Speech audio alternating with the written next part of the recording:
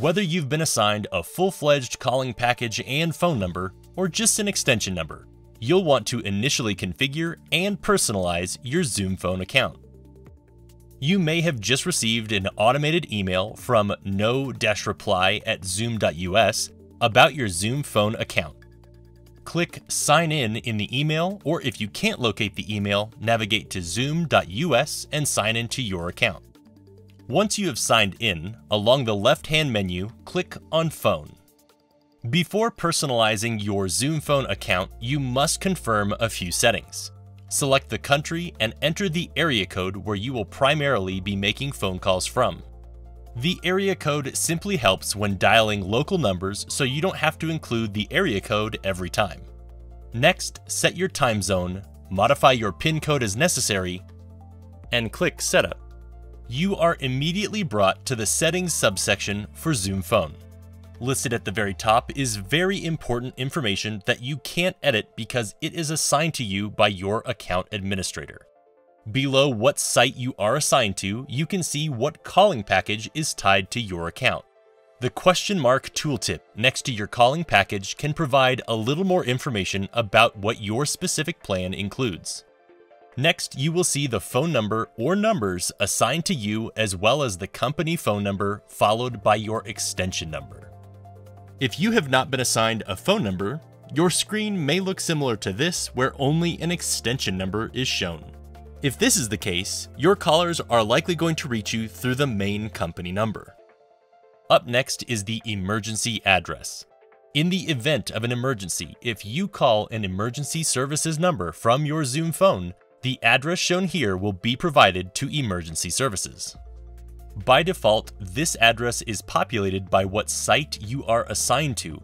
However, if you are a remote employee or temporarily working from a different location, update your address here to make sure that should an emergency happen, help will know where to find you.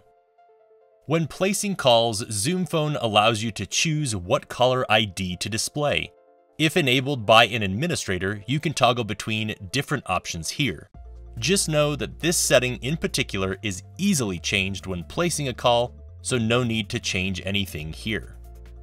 The last two items in this section you entered at the beginning of this video, but you can change if needed.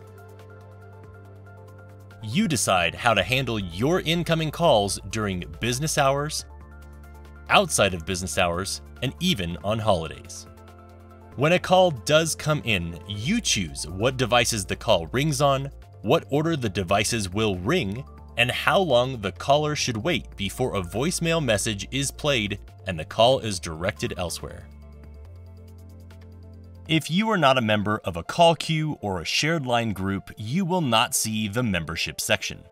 However, if you do see it, you will have the ability to toggle whether or not you are participating in any of the call queues or shared line groups listed here. If an admin has granted you the ability to monitor the phone calls of others, those users will be listed here as well. Next, to leverage the Delegation and Assistance section, you are required to have a Zoom Phone metered, unlimited, or Pro plan. This section lets you assign other users or common area phones the ability to answer calls, place calls, and more on your behalf. Next, the desk phone section also requires you to have a Zoom phone metered, unlimited, or pro plan. This section lets you configure and use physical desk phones with Zoom Phone. The final Others section has a bit of everything. You can grant access to your voicemail to an executive assistant or fellow team member. You can block calls. You can even pick what hold music is played for callers. Just be sure you have the rights to whatever music you upload. Should you wish to change the audio prompt language, you can choose from multiple different languages here. Finally, let's connect your calendar and contacts with Zoom. Along the left-hand menu, click on Profile and scroll to the very bottom to the Others section. If not already configured, here you can click to configure your calendar and contacts service. Zoom supports syncing with Google Calendar, Microsoft Exchange, and Microsoft Office 365. Once you have connected Zoom with one of these services, you can now quickly find a contact and get a call going in a flash.